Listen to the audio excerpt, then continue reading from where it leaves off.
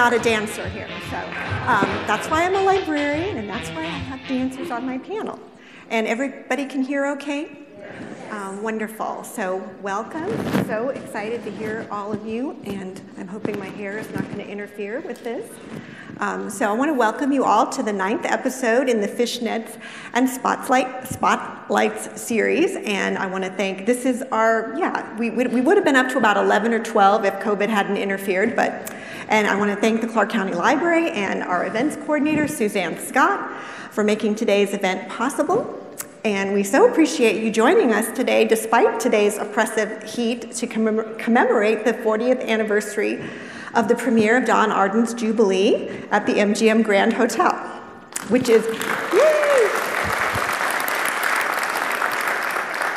And of course, it was uh, July 30th, um, 1981, and I did get the date uh, wrong on the flyer, so I looked that up. So, and so I hope everyone has been able to fill out their name tags in the lobby with the years they were in Jubilee or other production shows on the strip.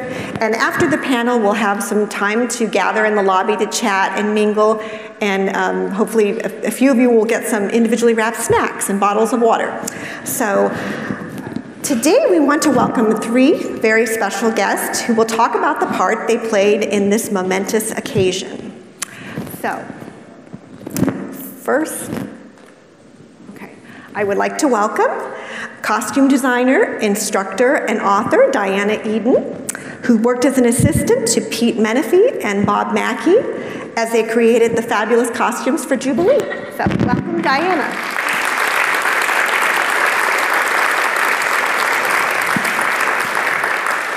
This, this is Diana's book, Stars in Their Underwear, which is a wonderful, fun romp down um, memory lane. And now for a truly wonderful treat and honor, I'd like to welcome back to the stage Janet Ford Spellman and Tricia Lee Liboichi, two of the dazzling principals in the original cast of Jubilee.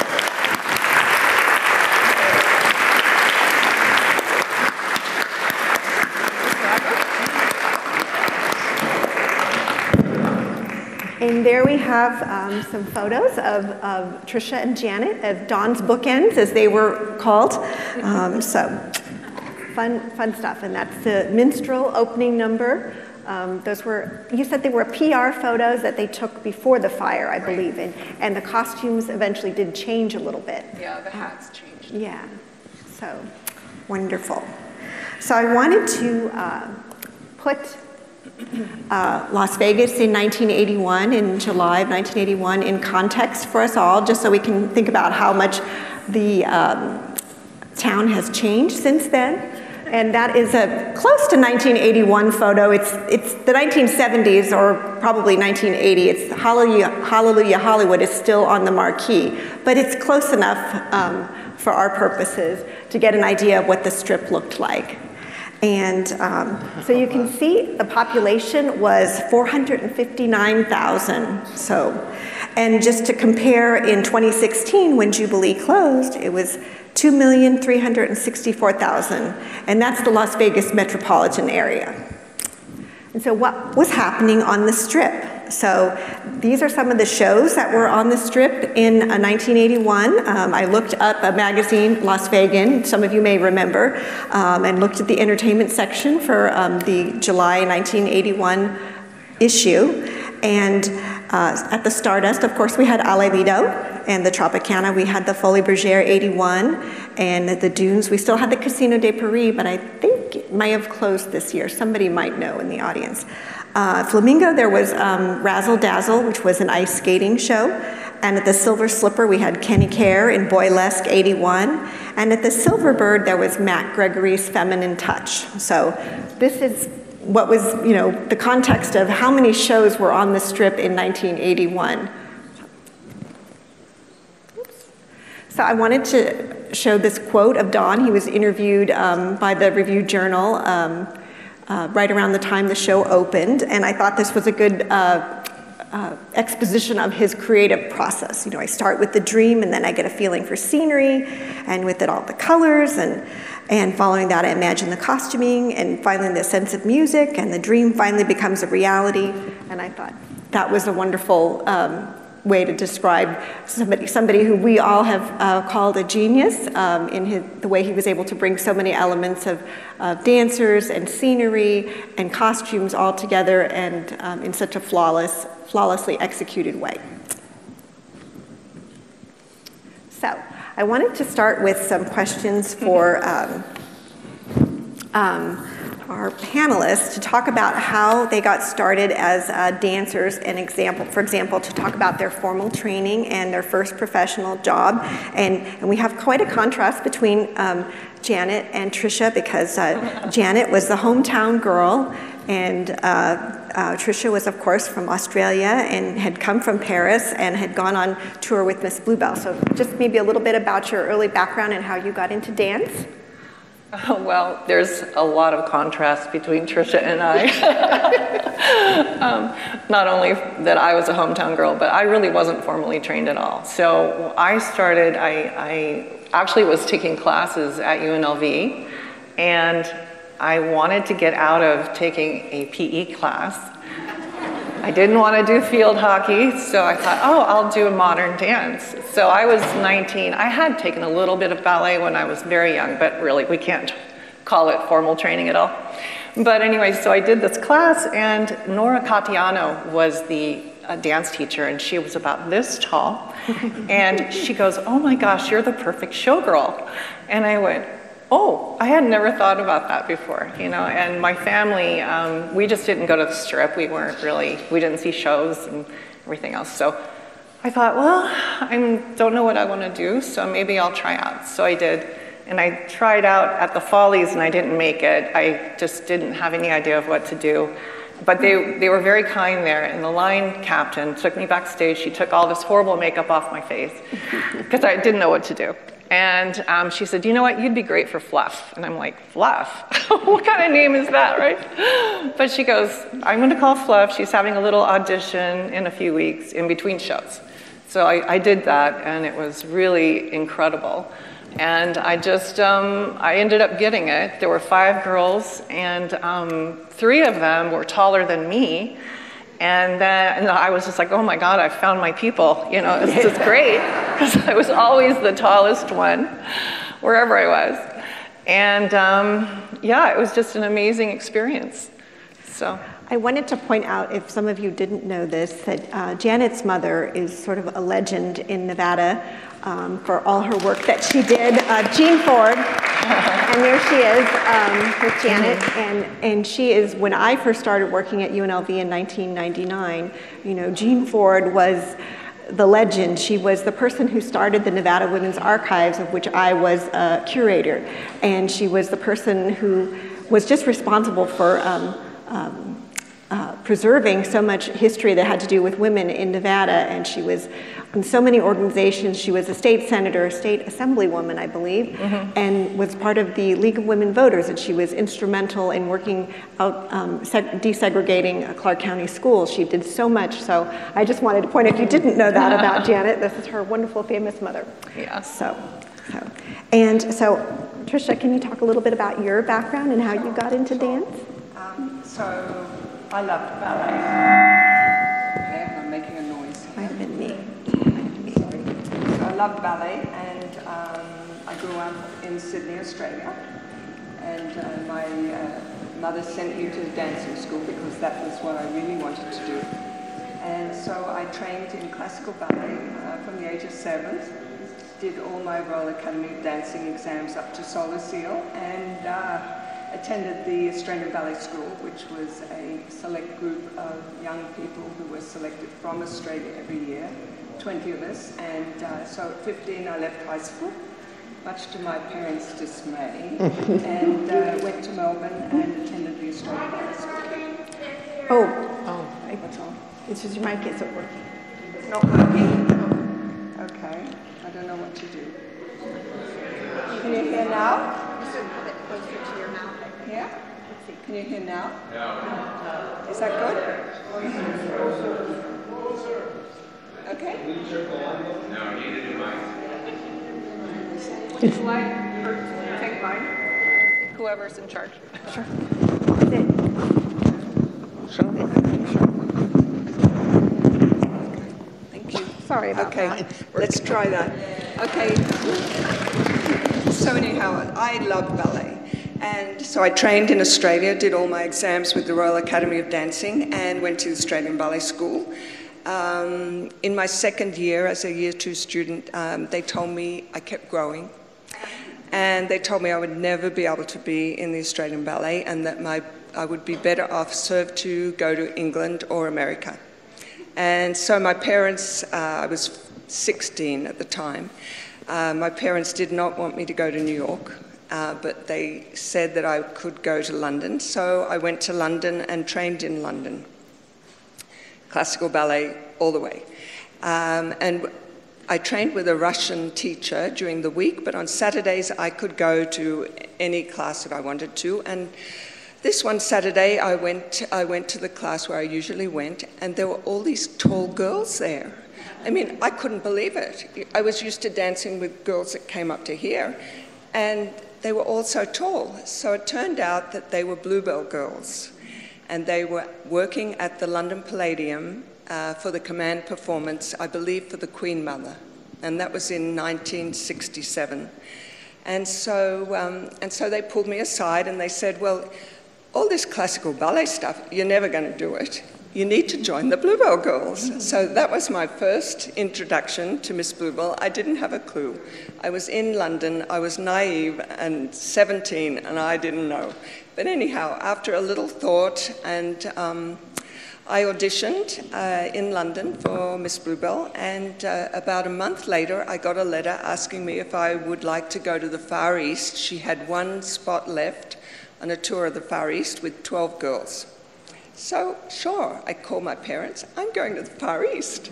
And so they were horrified. Um, but anyhow, off I went, and you know, it was, it was a very protective environment.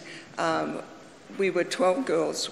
We were never only allowed to go out, all 12 together.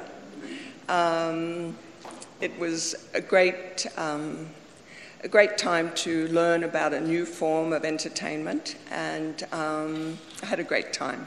And on top of that, the tour ended in um, Singapore, and so I thought, well, I can go home after that. So I did. I went home, and uh, about a month later, I get a letter from Miss Bluebell.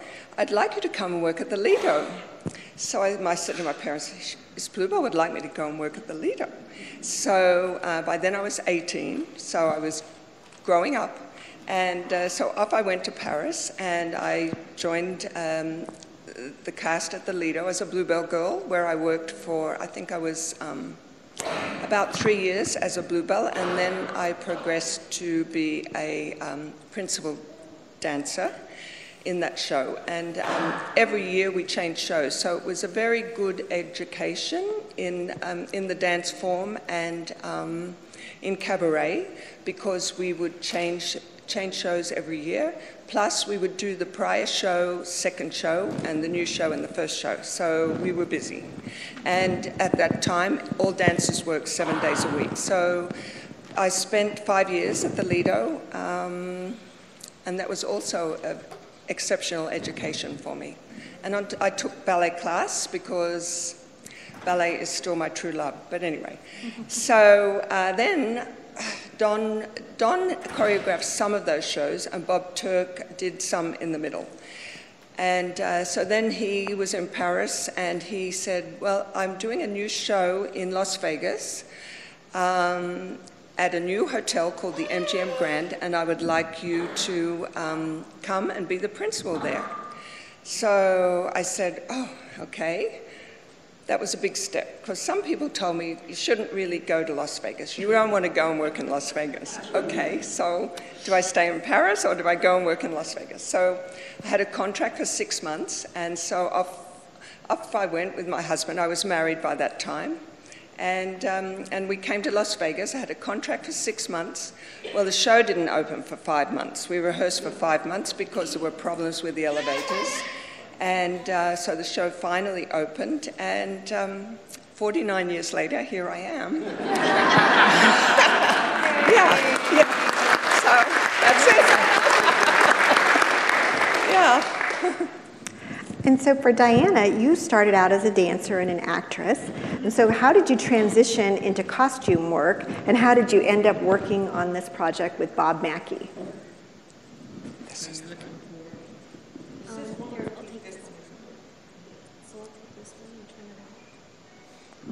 Sorry, technical difficulty.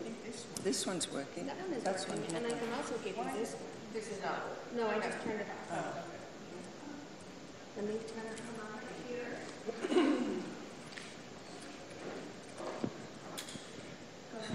Hello.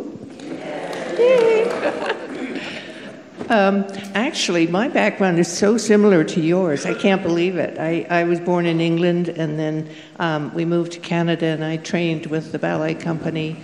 And um, at 15, I performed with the ballet company. At 16, I'd grown two more inches. And they said, You're out of here. so um, uh, I went and uh, danced on Broadway. Um, I didn't know about Las Vegas at the time. Had I known, uh, who knows? Um, you know, a place for tall girls, yay. Um, and, uh, but um, I spent a number of years um, dancing uh, professionally and then acting professionally.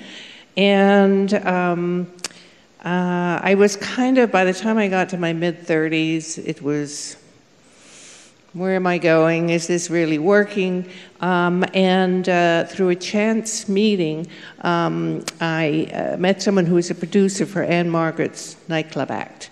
Now, I don't know if any of you were here in the 70s, but her nightclub act was fabulous. Dancers and singers and sets and costumes and the best band, live band ever. Um, and um, so I was hired to coordinate the dancers' wardrobe. And um, that led to my meeting Bob Mackie, because uh, he was designing for all the big stars, including Ann-Margret. And um, so um, uh, sometime later, around er, late 70s, I think 79, he said, I'm doing a really, really big show um, in uh, Las Vegas called Jubilee. And it's going to take a year to build, and it's got thousands of costumes. And would you like to assist me?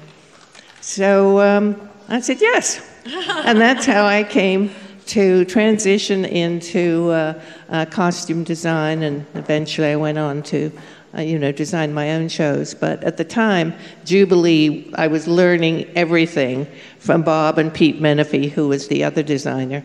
And uh, got to come up to Vegas for eight weeks and work with all these wonderful people and feathers and rhinestones, more than you could ever imagine. This is uh, one of Pete's uh, designs here up on the screen, mm-hmm. along with the finished costumes there on the left. So, and I know those again were the pre-fire costumes, that particular costume there, the mm-hmm. minstrel costume. Okay. Um, and here's another one, uh, Diana. This is the one where yes. um, uh, this, for example, um, was one where um, you were told to select chiffon that, when on stage and illuminated by the lights, will be so breathtakingly beautiful that the audience will weep. Yes, um, that was my instruction as I was headed downtown on a day much like today in LA, because everything was built there. And uh, I had gone downtown um, to get swatches. Uh, pe- people asked me, What did I do as an assistant? And you know, um, I kind of did everything that they needed, depending on whatever it was, whether it was organizing, making lists, setting up fittings, finding fabrics, fitting shoes. But this one day I was sent downtown to find blue chiffon for these costumes. And I came back with, I think, about three or four swatches. No, no, this one's a little too gray. Oh, this one is just dreadful. Uh, Ray was quite uh, direct. So, back in the car, downtown again, hot and sweaty, um, I came back with uh, another set. I mean, how many blue chiffons are there? Um, and uh, so that's when he said his famous phrase, very droll. I want a blue that when it is lit, um, when the audience sees it, they will weep. So I guess I found it because the costumes were made. yeah, they were. So we wanted to talk about the two Jubilees, the Jubilee before and after the fire. And Tricia and, and Janet, you were both in Hallelujah Hollywood, which was the immediate predecessor of Jubilee at the MGM Grand. And Tricia, you were one of the featured principals um, since 1973. And Janet, you were one of the MGM girls, or? Well, um, here. We're sharing just like we used to. um, I actually, so I, I auditioned for, is that too loud? Okay. Um, my first show was Hallelujah Hollywood back in 76, and that's that story that I was telling where I went in between shows and she had a very small audition. And I ended up getting it, and I was a showgirl. Back in Hollywood, they were really showgirls. They really barely danced. Um, they walked around, they were beautiful girls, incredible costumes. And then, so that's what I did for a year. And then um, I was, I would stand, I was one of the girls that stood there, and I would watch Trisha every night in her opening. And I can't remember the name of the song, but it was so beautiful. She was with the lead singer, and oh, she would just come out and just float around and be incredible. And I was watching her, I'm like, I want to do that someday, you know. So I, um, I auditioned for Fluff after a year of being a showgirl, and I really started taking a lot of class. I became very dedicated to becoming better, or at least decent. And, and I auditioned for, for Fluff as a covered bluebell. And she just said, and it was just a me and her kind of audition. And she goes, Well, Janet, she goes, No, you're not ready yet. I said, well, then I am going to leave, you know. so I went over to the dunes and I danced at the dunes, and the showgirls there did a lot more at dancing. And then I opened, I went and auditioned for Donn for the new Lido, which was Allez Lido at the Stardust.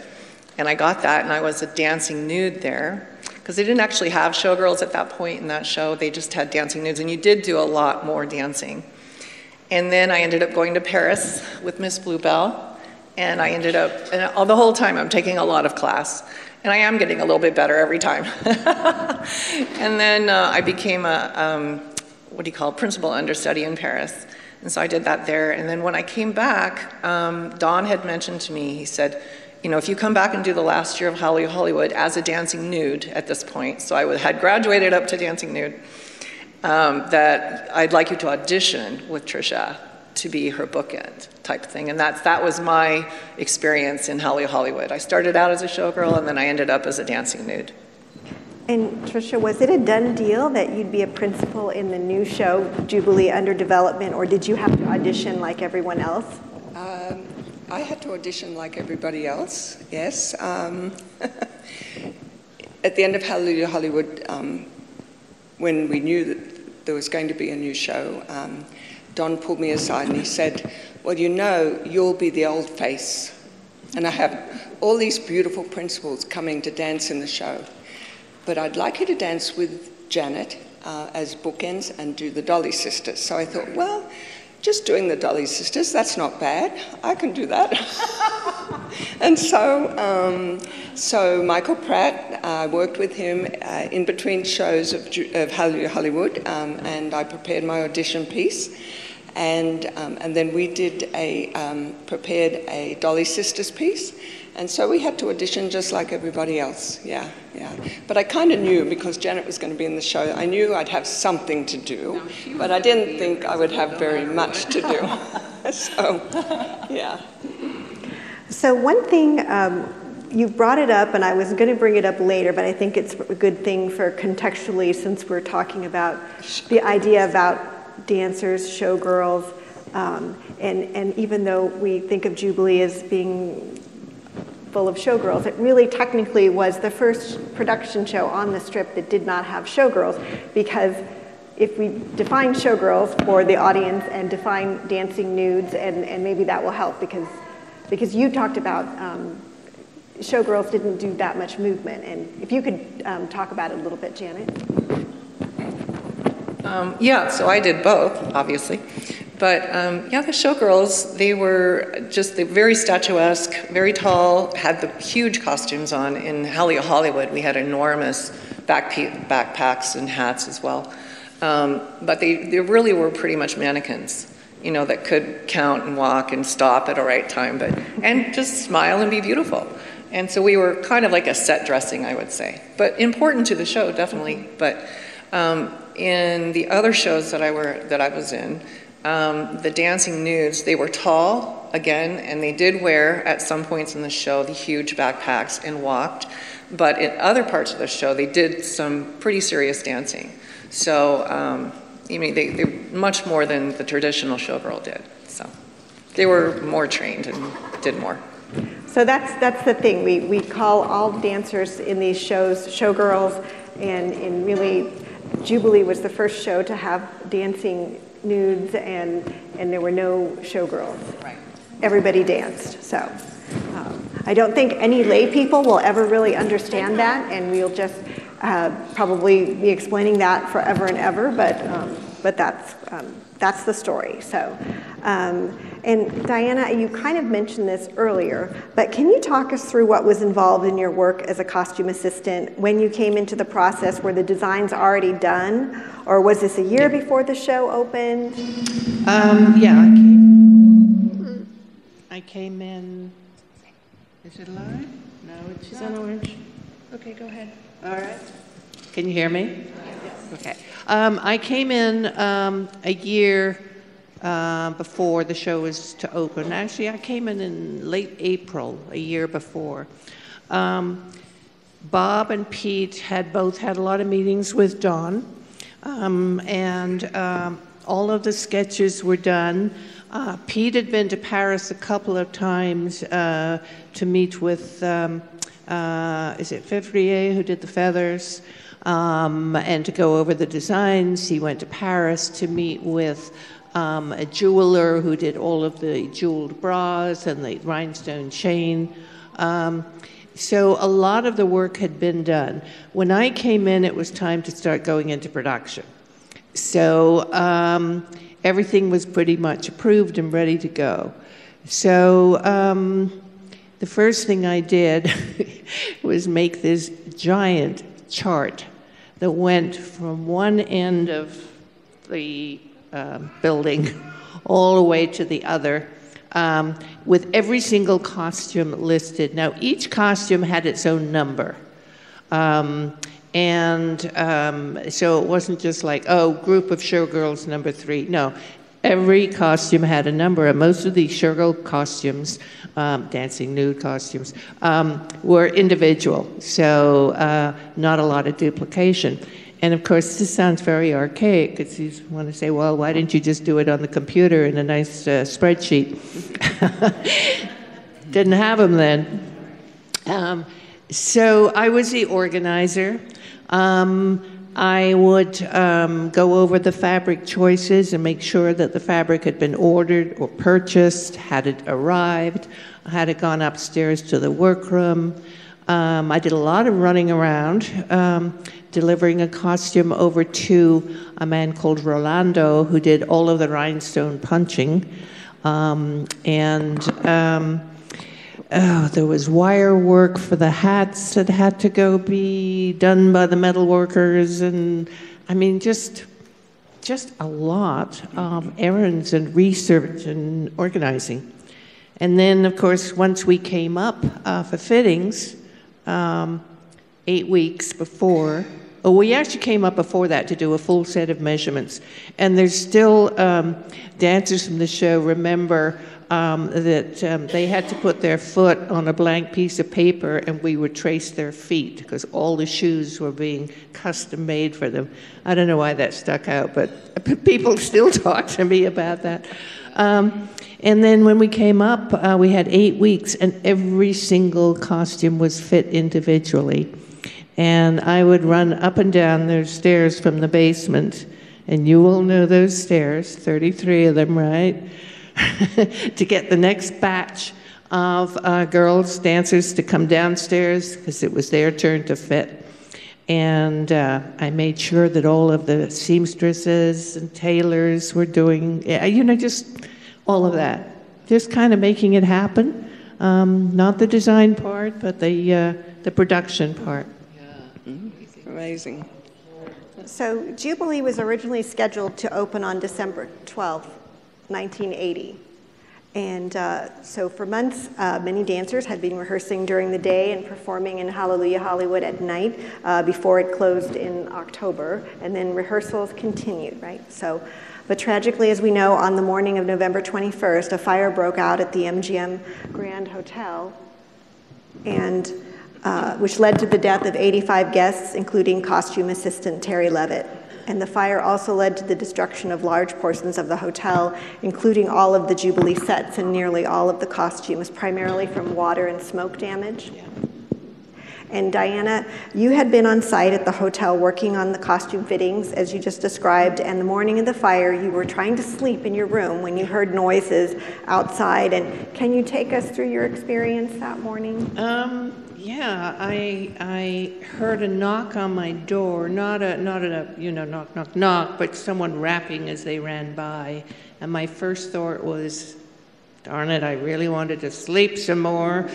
But there was a weird sound in the hall, and I can't describe it, but it was just something strange. So I got out and I peeked my head out the door. And there were people running, and there was smoke everywhere. So I realized this was serious. So I um, threw on some clothes and um, forgot shoes, uh, grabbed my bag with my costume notes, and um, exited into the hallway and through the smoke made my way to the fire exit and went down uh, all those stories and stepped out onto Flamingo uh, Boulevard um, out the fire escape door and turned around and just saw this massive, massive, massive black smoke. I mean, it was photos really, I guess when you're there and you experience it, it seems, you know, so enormous. Um, and the noise, because uh, the helicopters were coming in from Nellis Air Force Base, fire engines were arriving, ambulances were arriving. Um, uh, the, the, noise was incredible. And um, so I made my way across the street to um, a hotel that at the time was called Maxim's. And um, I thought I better find a, a, place to kind of gather everybody. So I got a room and I went upstairs. And I still was a bit in a state of shock. Um, lay down for a minute. then I turned on the television, and of course, there it was. And I realized that this was really serious. So I went back out to try and find the rest of the crew. And uh, I remember my feet were so cold because this was November, late November, and I was on concrete in bare feet. And um, um, I had wrapped some towels around my feet, but it didn't work. And, and this guy came by. Um, and he said, um, I have some sneakers in the trunk of my car if you would like them. I said, Oh, yes, please. He said, They're size 13, but you can have them so that's what I wore the rest of the day. And uh, I mean, there's more to this story, but I don't know how much, you know, uh, there's a lot, a lot that went on that day. And um, my, my experience, though traumatic, was not nearly as traumatic as some other people's stories. And uh, thankfully, uh, most of us survived. Two very, very nearly didn't and uh, tragically, Terry uh, died um, uh, just outside the elevator from uh, monoxide poisoning. Yeah, and most of the most of the deaths were from smoke inhalation and, and carbon monoxide poisoning. Very few people actually died from died from fire, and uh, the fire changed everything in terms of building codes and fire codes. I mean, it, it was kind of revolutionary um, in, you know, a little bit too late, but it did change a lot of things. And Diana talks about that a lot in her book. Um, so if you'd like to know more about um, her experience, um, and so the sets in costumes are in uh, the sets and costumes are in tatters, and all of the dancers had to find alternative work while they re, while, the, while they were re- rebuilt in preparation for the reopening in July.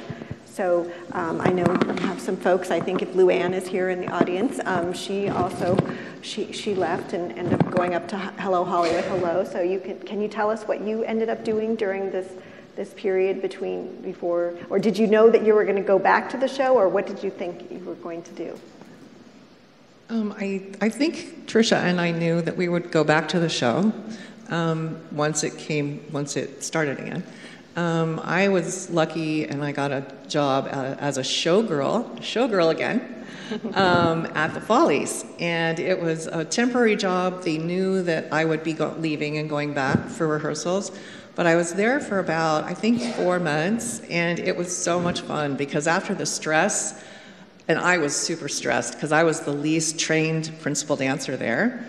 And so I was always, you know, measuring myself up to the other girls, especially Trisha. But um, it was uh, such a relief just to be a showgirl again for about four months, and I didn't have to think too much, and it was just easy and fun. And that's what I did. So thank you to the Folies. uh, so, um, oh, after the fire, I really didn't know what I was going to do.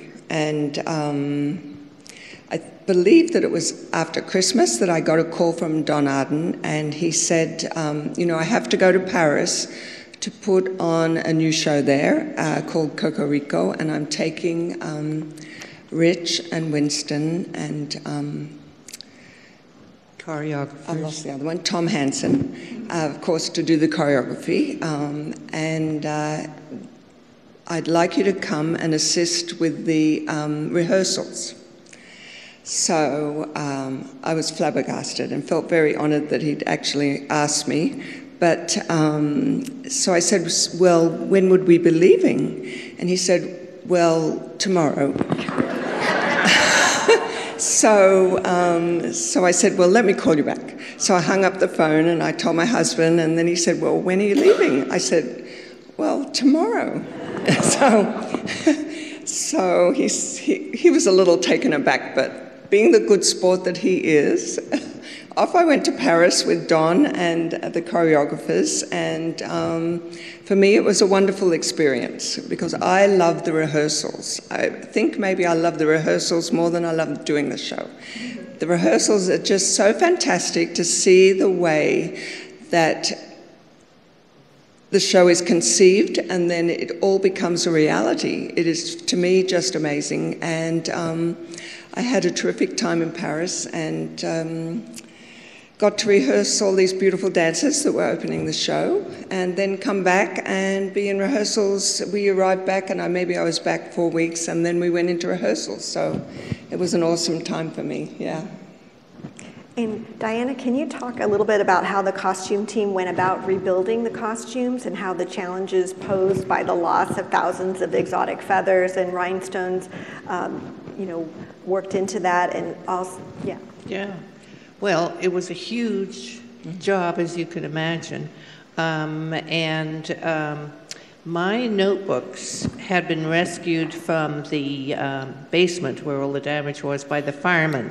Um, they'd gone down there because they were told that these notebooks were like, you know, um, had the secret to, uh, I don't know, secret to success or whatever.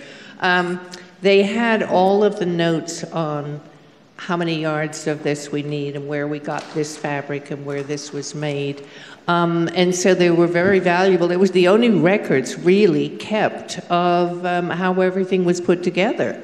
And so rather than having to um, reinvent um, the wheel, um, we were able to use my notebooks um, which now are, by the way, uh, with the Nevada State Museum uh, with Karen Kaufman Feder. I don't know if she's here, um, but she has preserved them. Uh, we went back to LA, and um, the first thing uh, was that all of the jewelry, now picture showgirl jewelry, yards and yards and yards of rhinestone chain, was all sooty it was completely smoky.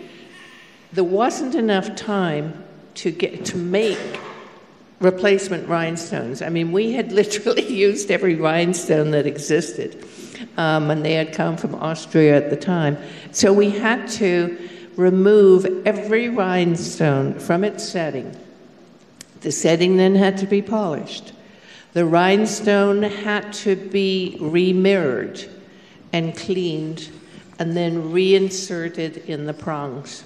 Now, you can imagine doing it for one costume. It would take, you know, days. Well, we had thousands of costumes. So there was a whole team that did nothing but that.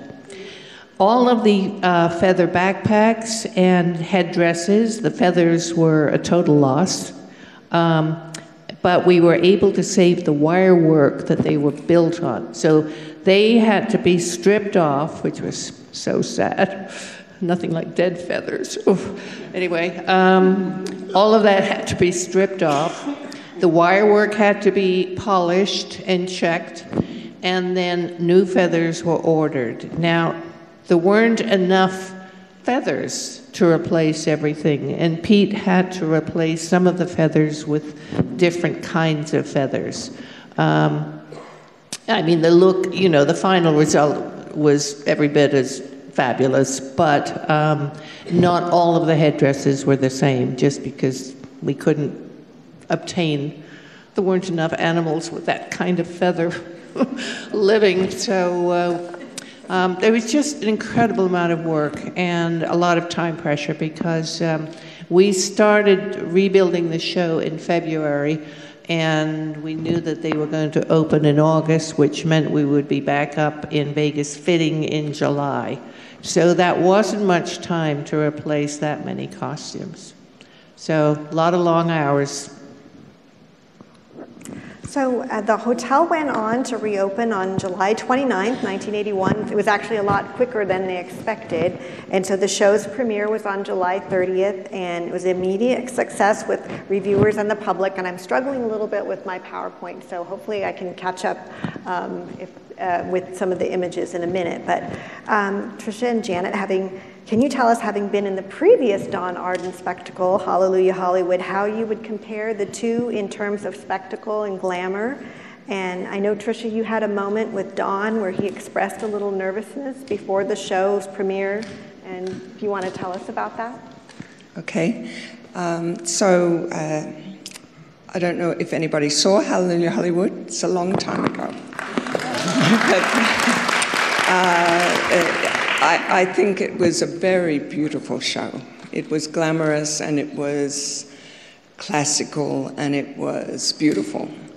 Um, and Jubilee was a step up. It was fantastic. I mean, when the opening came on stage for the first time that we saw it, I was like taken, breathtaking. It was just breathtaking with all the girls on boxes, etc. But um, Donn, some of you may know, um, tended to sometimes drink a lot. Um, and, um, and he was sitting in, in the audience at the end of a, the Hallelujah Hollywood show, and I was walking across the stage trying to creep out to go home because I had to get up at 8 to come back to work at 9.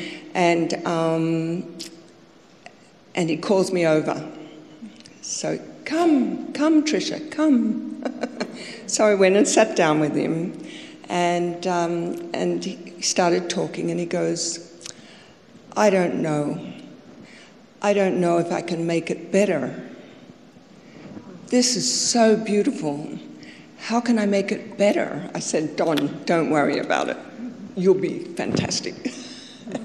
but he, he had a moment, yeah, he had, he had his moments. Um, and probably the vodka hadn't helped. but, um, but I think he did such a wonderful job on Jubilee. It was just so beautiful. And uh, yeah, that's it. Any, any thoughts from you on having been in both shows, what you what your first thoughts were? It's actually really hard for me because I, I did love Jubilee, obviously, and um, but I have to say, Hallelujah Hollywood was my favorite show. Yeah. It just was. It was just so, and I don't know, maybe it's because it was my first show, and I just was so impacted by it, but it was just so incredibly beautiful. Kismet, um, I mean, just the opening, um, Hollywood Blondes and the opening, it was the most glamorous show I think I've ever seen. But I love Jubilee too. And so I have up here on the screen um, the, one of the inside of the original program um, with some facts that I gleaned from uh, a magazine from the time period. Um, hopefully they're correct. Um, in terms of performers, it was largest cast ever in Las Vegas. Um, and this was obviously at the opening. We know that eventually that um, the size of the cast shrunk. And uh, you can see some of the, the, the, major numbers there and what changed over time. So those of us who've only seen Jubilee in the, who saw it in the last 15 years of its incarnation, obviously we didn't see these original opening numbers and then some of the other things. We didn't see the dogfight scene um, and the, um, in the, the Vienna Tales from the Vienna Woods was removed. So anyway, that, that's, it did change over the years. Um, so. But if I can just add, after the fire, I don't think there was any lessening of the impact. It wasn't a poor man's version. It was, uh, by any means, I mean, it was still every bit as fantastic. And some things were just changed or removed uh, because they really didn't work that well. I remember the dog fight was kind of, you know, planes running around on wires. I mean, I don't know. Um, so, um, uh, you know, I think that's important. And then, of course, over the years, yes, because um, of budget cuts and things, the cast was reduced a little bit and numbers changed. But generally, I saw the show uh, after 30 years and I saw the show on its final night, and it still was a knockout. Yeah. And Diana, for you, what was it like to see the costumes on stage after spending so many weeks and months and seeing them come together? And be on a performer. Well, that's always a joy. I mean, that's part of the joy of my job. When you finally see it up on a human being up on stage with the lights on, it's like, oh my God. I remember taking that piece and driving it over to get the punching done and blah, blah. Um, and uh, so, yeah, I mean, it's, it's really thrilling to see it all put together. And um, um, uh, for me, there is absolutely nothing like the final walk down.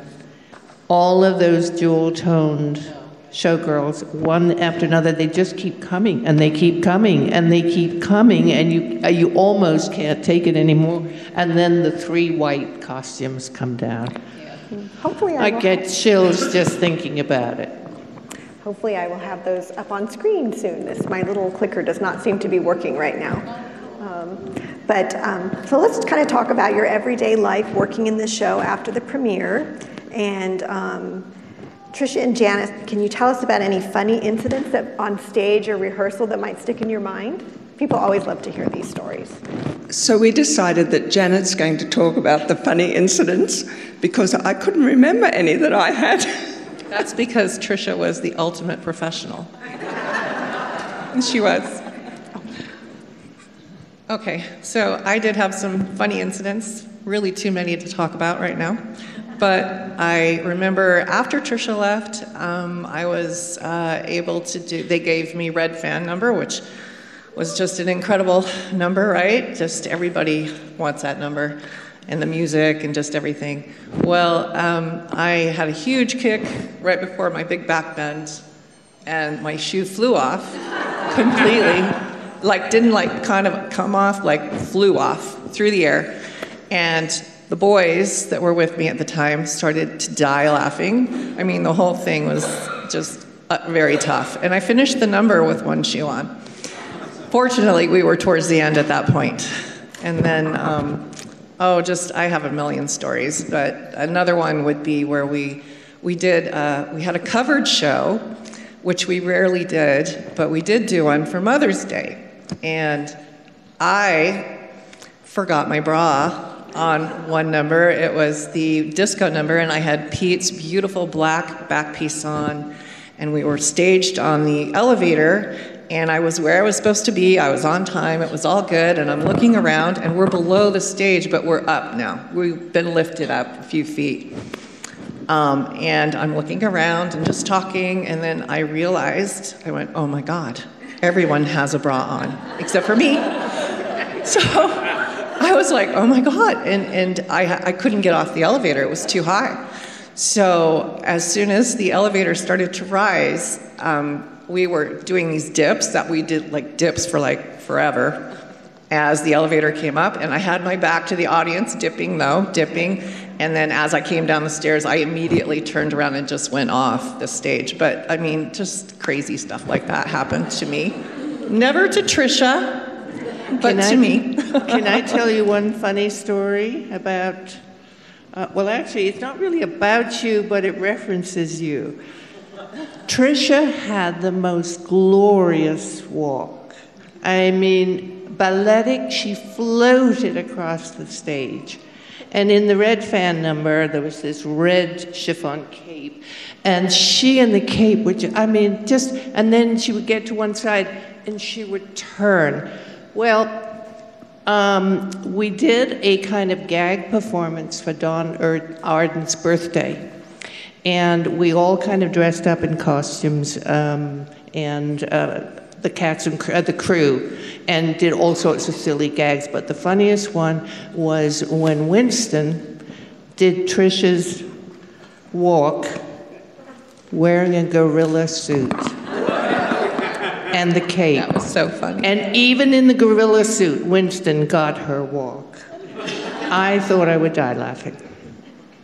Winston was amazing. He Yes. taught us our cape number Yes. with with the pink capes that Pete did, and oh my God, he would float around and be working that cape, and he was just amazing. He was so fun. And we'll have a photo of Winston coming up in a minute when I get to collaborators. But um, I just wanted to ask you, we've been kind of, the, the, it's been working a little bit, so we have some, this is you with your partners, both of you. Um, Did you have a favorite costume in the show um, that you really loved, other than Red Fans, or was that a favorite number, or? Oh, that was just a favorite everything, I think, for everybody that did it. Um, I loved Pete's black back, uh, the black backpack in disco. That was one of my favorites. I just loved the way it moved. It really bounced around and was just so pretty. Um, and I loved, um, well, there were so many. I, I loved our dolly, our dolly dresses, the white ones, the white lace, just form fitting, the capes. I, I really liked all of them. The, I don't really have a favorite, to tell you the truth. costumes, so. Um, and that's that's uh, I'm with Randall right there. He was a singer in the show. Yeah, and that's just a casual shot, like in between shows we took. How about you, Tricia? Did you have a favorite? um, Well, of course, I love doing red fans and wearing the beautiful cape. I mean, who, who can't feel beautiful wearing that thing? I mean, it was just gorgeous. And, um, and like Janet, I enjoyed the Dolly Sisters costumes. They were the, the pink cape, yes. It was, it was just such fun uh, to work with it and, um, and the beautiful white dresses. But really, every single costume was, had its own special thing. Uh, and you just felt so beautiful in it. No matter, you know, how you were feeling that day in the costume, you just felt beautiful. Yeah. And this is a famous shot of, of Janet with Bob Mackie.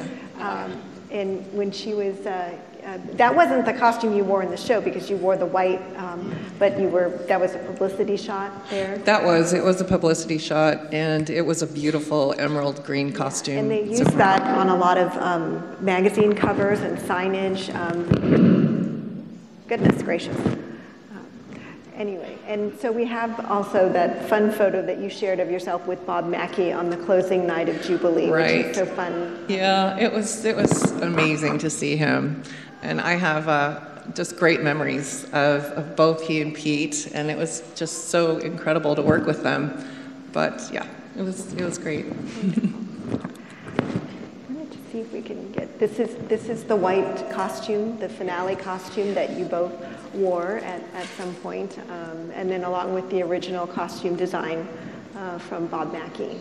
Yeah, And you can see the, the number on it in the corner, as, as Diana mentioned, there, all the costume drawings were numbered. Yeah, that was Trisha's original costume. Yeah, and then I inherited it. I was so lucky. I think I have but I was originally the bride, so I wasn't in a white costume in the very beginning. The shots of you in uh, Rocky Four. Right. Um, and Look, you're- Trish. there you are with James Brown and um, Apollo Creed there um, in the white finale. So super fun.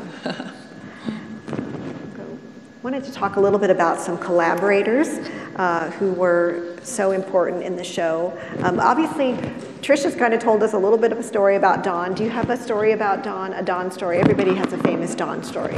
So. Yeah, I think, I think, yeah. Yes, we have Donn stories, but, you know, I just remember he would come in, all of us principals would, uh, we would hide under the, we would hide in the audience under the booths. We would hide there because if he saw us and it was in between, like, just work uh, numbers, he would say, entertain me. So he would say, Janet, entertain me. Go up there and do something. Or Trisha, or whoever, Michael. And so we would hide a little bit from him because it was just, it was just tough. But, um, but yeah, no, he was great. I, I remember Sylvia Stevenson and I uh, would go over to his place sometimes, and, and he was just an amazing person to listen to. Just his life and his stories, and it, was just incredible. It was really, really very lucky. Feel very lucky to have known him. These are three of his choreographers for Jubilee um, Tom Hansen, Winston Hemsley, and Rich Rizzo. I don't know if Rich is here. Um, but this was, um, I think, taken in Paris, but um, I just thought it would be nice to see, see all of them. So you all worked with them quite extensively during rehearsals and Yeah, they were wonderful. I know. Really amazing talent. It was just so, we feel so privileged, right?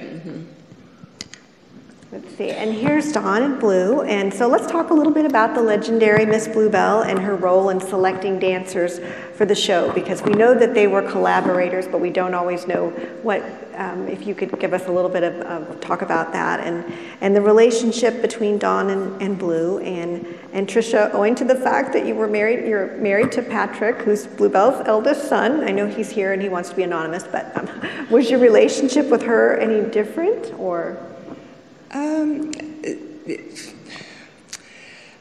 you know, I started off at the Lido in Paris when I started to uh, date my husband to be, and um, but during all the years, we always really kept um, work and and personal life separate um, with with Miss Bluebell. Um, so it wasn't really a problem, and it didn't. I don't think that she treated me any different than anybody else that um, worked for her. Um, and yeah, yeah, maybe other people saw it differently, but I don't believe that she she was not that kind of person. And um, if anything, she expected more um, of me than others. Uh, so, uh, and I tried to um, keep up to her expectations, not always making it, but I did try. Yeah. And Janet, uh, what was your experience working with Miss Bluebell? And what I, I guess I need to. Like she, I know she helped select girls for the show, but what was the difference between, say, her her work in the show and then Fluff's work? Um, Trisha, why don't you do that one? Okay, so um, it, when Jubilee opened in Hallelujah Hollywood before, um, she had had a collaboration with Donn since the 50s. And, um, and when he um, was conceiving those shows, it was um, she was under contract to provide the girls. And at, at that time, um, most of the girls in the show came from Europe. Um, as time went on in, um, in Jubilee, there were more and more Americans, but they, they did try for a long time to keep the height requirement.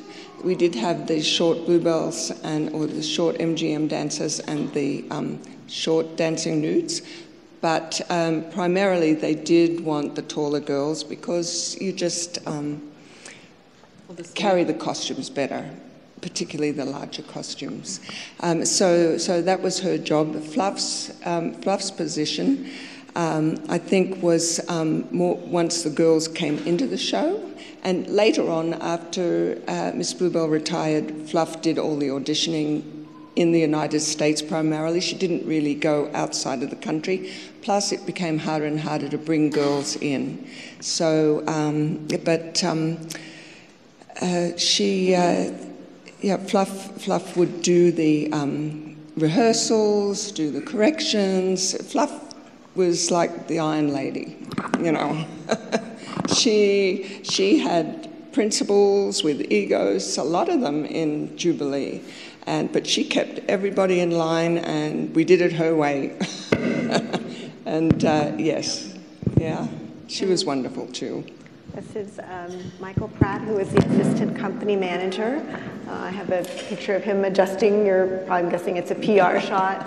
Um, and we did lose Michael sadly this year, but I wanted, I did promise his sister that we would all um, like think of him, and, and, and I know he would have been here if he was if he was with us. So he was he was Fluff's right hand man, I'm guessing. So Oh, yeah, and Michael would be out there every show, and he would be leaning against the wall, and he had his clipboard, and he would be looking at the show, and then he would make a note and go, oh, please don't let it be me.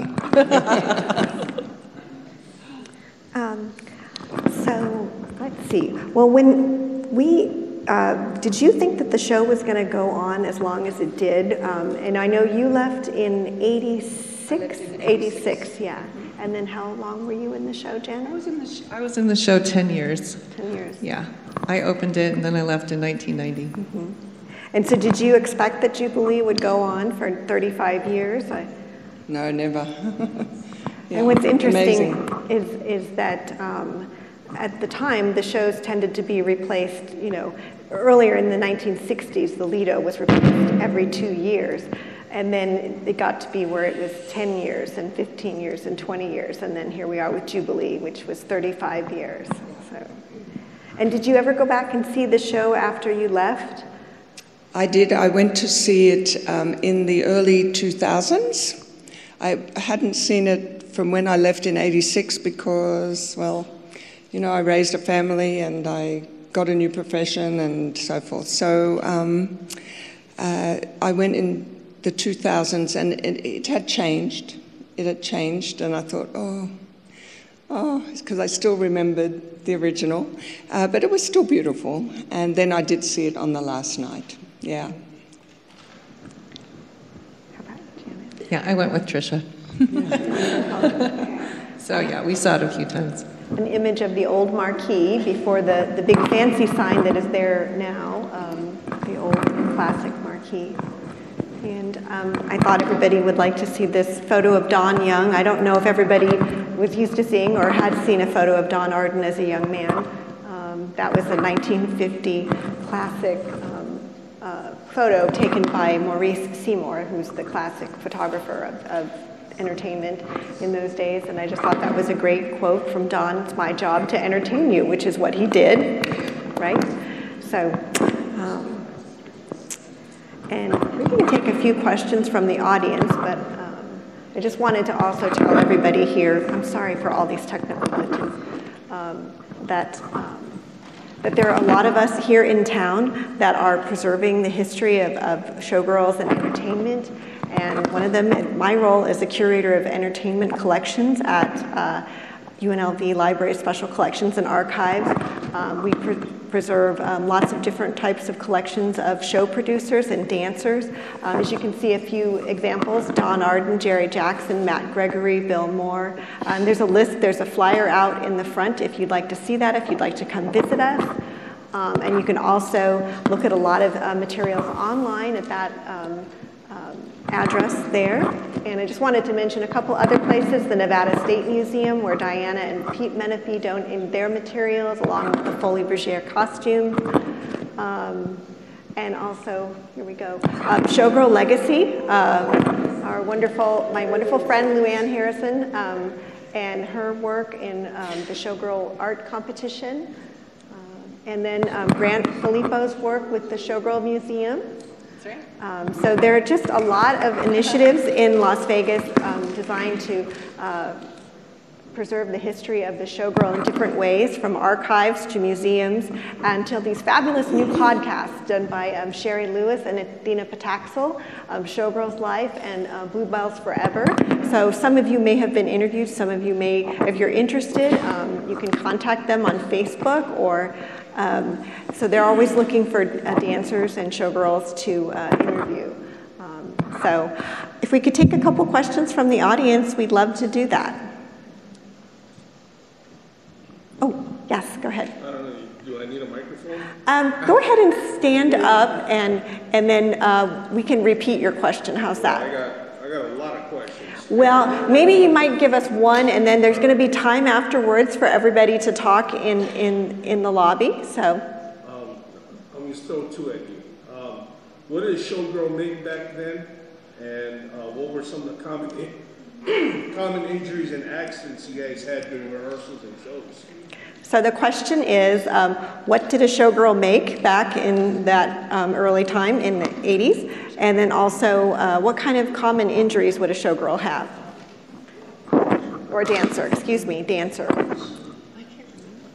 Oh, I don't know what, what did, what did, what I can't remember the salary, honestly.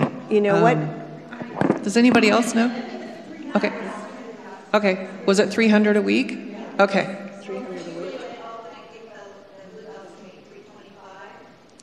And then the news were at three fifty or three seventy-five for the more, the most popular three would be probably medication. And, um, Yeah, I, I really can't remember, but I think that's a good answer. I would like to tell you that the archives that we have, Donn Arden's papers um, and Jerry Jackson's papers would probably tell you that information exactly from that period. So um, we could, we could always have you go to those sources. As far as injuries go, I mean, I think I used to I used to pull my hamstrings all the time because I just was stretching all the time, and then every, once in a while I would just boom, and then it would pull. So I would have those kind of injuries. I'm, I'm sure some of the girls had turned ankles from trying to dance in the heels, um, even though they were great shoes, custom made, and they were awesome. They really were. But um, I think I remember a few sprained ankles. I can't remember the other injuries, if there were any. Do you? I You have to realize that with the, the stage, with turntables and things that come up, there's always a gap. So, I mean, it's an accident waiting to happen. Um, you get your heel caught in something, isn't that right? Okay, yes. after being a showgirl, what careers did you go into? So the question is, after their career of being a showgirl, what did they, what careers did they go into? So um, I left the show in 1986. Um, and uh, I, be, because I became a mother. Yay! so anyway, so uh, and at that time I had, um, because I had never finished high school, I had taken in the early 80s. I had taken my GED and I had started going to UNLV. So I, um, I had a baby and I had was in the last classes for my accounting degree. So I decided that I really needed to um, to leave the show in order to be able to do those other two jo- jobs properly. And I had arranged with um, Bill DeAngelis, who was um, in charge of the show at that time, that. Um, uh, when uh, we adopted our children, and, and when um, I had received the letter saying that we were going to receive a child, a baby, and um, I thought, oh, well, it'll be about a year. So I called him and I said, you know, Bill, we're going to get a baby, and so I want to leave the show. Um, at that time. So he said, That's fine. And uh, a month later, we got the call to pick up the baby. So, so, um, so I called him. I said, Bill, we're getting our baby tomorrow. so I'm going to be, this is my last night because you agreed. And so he said, Yes, yes, that's fine. And so I left the show and I continued at UNLV and got a degree in uh, business administ- administration um, with an emphasis on accounting. And um, then uh, went on to uh, be hired by Deloitte Touche and became a CPA. So I was a CPA from um, 1992 till uh, 2018 when I retired. Yeah, so very different, very different, but good. It's good. Yeah. My daughter's an accountant. Good job. Um, so I uh, left the show when I was pregnant with my first child in 1990. And I stayed home for a year, and then Richard Sturm called me and he said, You know, we're going to start doing this thing called it was, it was like a ca- casino entertainment concept where you would have dancers and singers kind of roaming through the casino and they would spontaneously start to sing and dance and do a number. So they wanted um, a manager for that. And so, um, so they hired me to do that. And I had three boys and three girl dancers and singers. They were so talented too. They were just amazing. And uh, we did that for about a year and a half, I think. And then um, they decided that that wasn't the way they wanted to go. But the, uh, the new MGM was opening. And um, they, I went with the entertainment uh, management team over there and I helped open the hotel. And I was in the role of being like a um, entertainment supervisor type person. Yeah. And I, I helped uh, do the decor for the party, casino parties and slot parties, and I would hire a lot of the models and entertainers for those type of, of events, and I did that for a while. And then I got tired of working all the holidays because my kids were small, and I had to work Christmas, I had to work New Year's Eve until very late in the day, or very late at night, because I had to be there for the strike and just everything. And it was a lot of fun and very creative, which I loved, but I just couldn't work at night anymore, and I didn't want to work the holidays. So I quit that job, and um, a few years after that, I became a realtor, and I've been a realtor for 18 years. So that's what I do.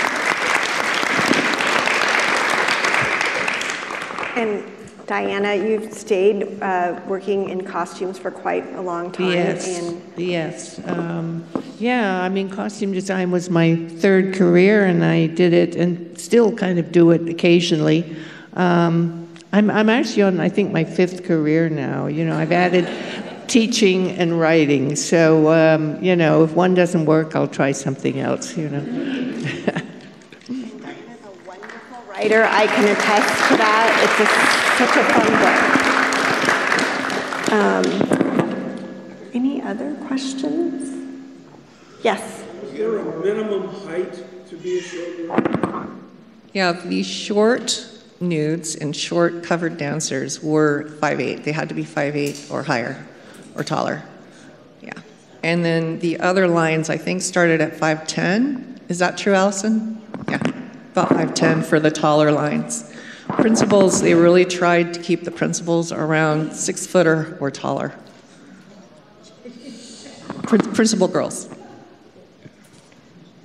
Since we have just a little bit more time, and then we can, everybody can um, adjourn to the lobby and have lots of chat, chatting going on. I know we have some um, former Jubilee cast members in here. How many of opening cast members do I have in here? If you could stand up, because so, so.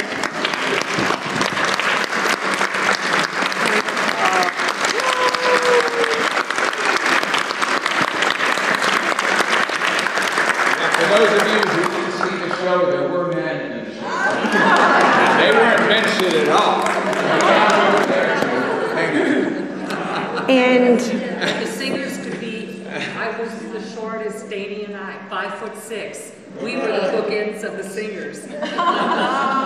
how about other generations of Jubilee showgirls, dancers?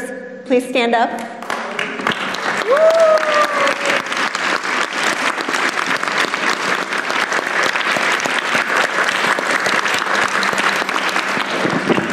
And because there's so much more of the Jubilee story to tell, um, we'll be having a second Jubilee panel.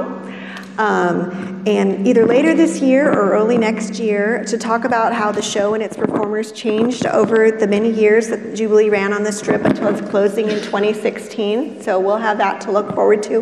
We'll cover more of the show then. And uh, we'll have another event on August 5th. For those of you who know our friend um, Sal Angelica, he'll be doing a Las Vegas Stories on August 5th at 7 p.m. here in the, actually in the, the smaller theater. But um, if you'd like to hear about Sal's fantastic career as a dancer in Las Vegas and on Broadway with Juliet Prowse, he will be our next. There you are.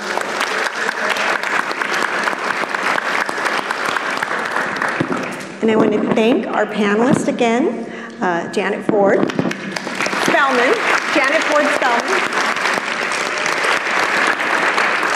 and Tricia Lee Libuichi, and Diana Eden. And I want to thank uh, again um, Suzanne Scott, uh, the events coordinator here at the library. And then I have some special collections colleagues that are here. Uh, Erin Mays, who's filming the panel for us. Um, thank you so much. And my other colleagues, Sarah Jones and Claytee White. And um, they work behind the scenes to help make our material available for all of you to look at online. And they organize it and describe it and preserve it. So the entertainment history is, is saved for everybody. So I want to thank all of them. And thank you for coming.